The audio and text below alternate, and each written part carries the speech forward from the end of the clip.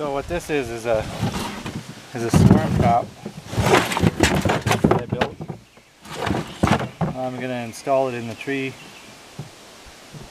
and yeah, I just um, it's a good use for your old frames because what I'm told is honeybees are attracted to the old frames. I put this up here in my apiary to catch swarms I can't that I don't notice have swarmed. I also put them in in my friends' yards and uh, get free swarms from uh, the, you know ones that are just swarmed off from other people too and I catch them.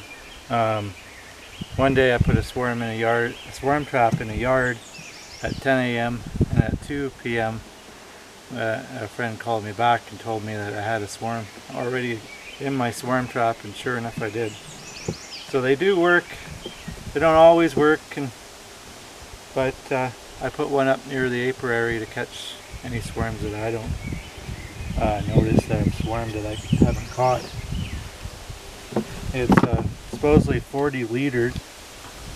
Um, the um, plans are online for one of these.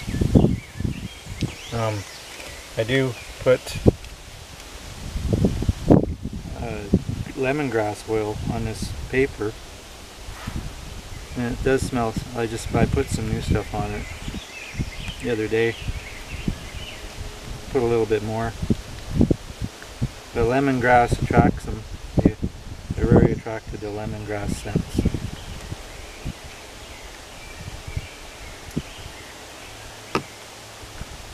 So I uh, put it in there like that in the bag and I, and I just leave the bag open